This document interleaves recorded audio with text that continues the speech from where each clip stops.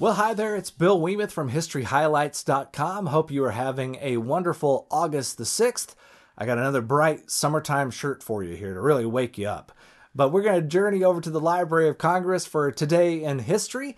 And today, since baseball has begun again, did you ever think you'd see live sports again? Holy mackerel. On August the 6th of 1890, baseball great Cy Young pitched his first professional game, leading the Cleveland Spiders past the Chicago Colts. Over the course of his 22 year career, Young won at least 508 games, 511 is generally accepted number, and averaged more than 23 victories per season.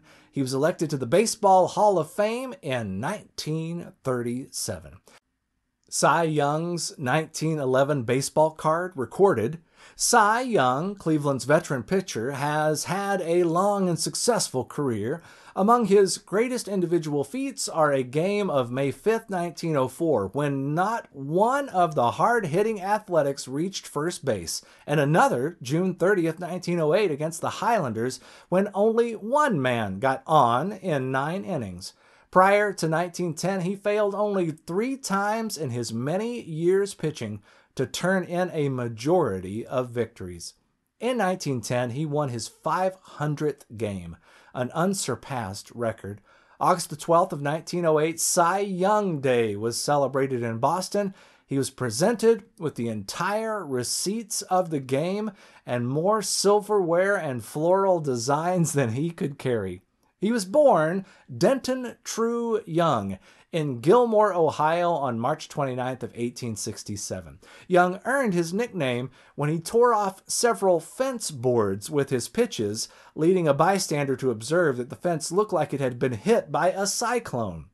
He played for the Cleveland Spiders from 1890 until 1898. He spent the next two years with St. Louis and then signed with the Boston Americans, renamed the Red Sox in 1908, in the American League. Young's final season was 1911, which he split between the Cleveland Naps and the National League's Boston Rustlers.